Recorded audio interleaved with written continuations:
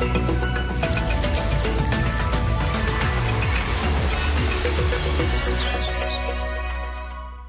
Időjárási szempontból az elmúlt néhány nap egészen eseménytelen volt, a folytatás azonban már változékonyságot tartogat, a hét közepén egészen tavaszias idő vár ránk.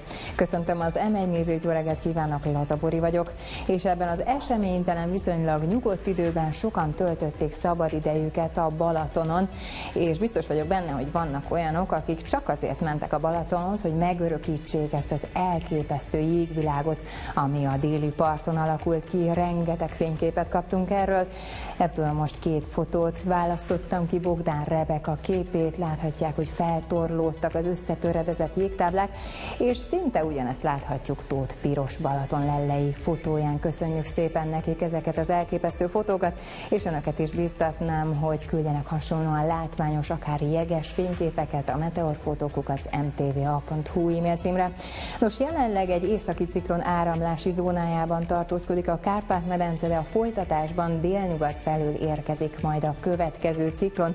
Már szerdán megnövekszik a felhőzet, és azért is emelném ezt ki, bár még egészen távolinak tűnik szerda csütörtök, mert az európai maximum hőmérséklet térképen is látszik a hőmérsékleti kettéosztottsága Európának. Kifejezetten enyhe az idő itt a mediterrán térségben, és éppen ezt az enyhe levegőt sodorja majd hozzánk ez a délnyugat felől érkező ciklon. Na de a mai napon még az északi ciklon határozza meg időjárásunkat, éppen ezért 10 fok alatti csúcsértékekre készülhetünk. Általában 1 és 7 fok között alakulnak a maximumok. A déli tájakon sok felé lesz szükség az esernyőkre. Most reggel még átmenetileg ónos eső is hullhat helyenként, de összességében eső, havas eső várható, majd délután egyre inkább halmazállapot változásra készülhetünk, vagyis havazásra is készülhetnek itt a déli területeken.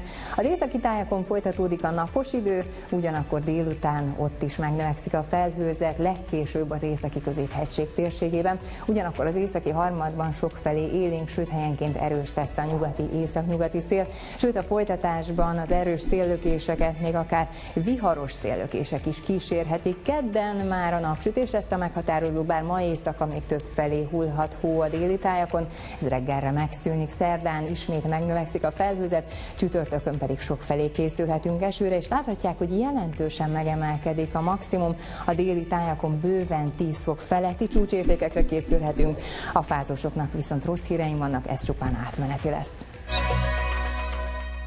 Csoda a Hudson folyón. Csak így emlegették azt a valóban csodával határos esetet, amikor 15 évvel ezelőtt a US Airways 1549-es járata, amely felszállás után madárrajjal ütközött, és így mindkét hajtóművel leállt, percekkel később mégis egészben landolt a Hudsonon. Chelsea Sullivan kapitány lélek jelenlétének köszönhetően mind a 155 gépen tartózkodó ember megmenekült. Nem is gondolnánk, hogy a madarak milyen nagy veszélyt jelentenek a repülésben. Éppen ezért a Liszt Ferenc nemzetközi repülőtéren is fokozott figyelmet szentelnek a védekezésre. Hangágyúval, vagyis hangos durrogtatással riasztják el legtöbbször a betolakodó állatokat, de időnként lézerlámpát és bioakusztikus berendezéseket is használnak. Egy napi szolgálat alatt körülbelül 30-40 riasztás történik. Egyébként raffináltak a madarak, amikor két percenként szólt a hangágyú, egyes fajok megtanulták, hogy mikor kell a durranás előtt felszállni, majd utána visszaültek a hangágyuk tetejére. Emiatt csak akkor használják ezt a módszert, amikor szükséges. Én most köszönöm a figyelmüket, minden jót kívánok, viszontlátásra!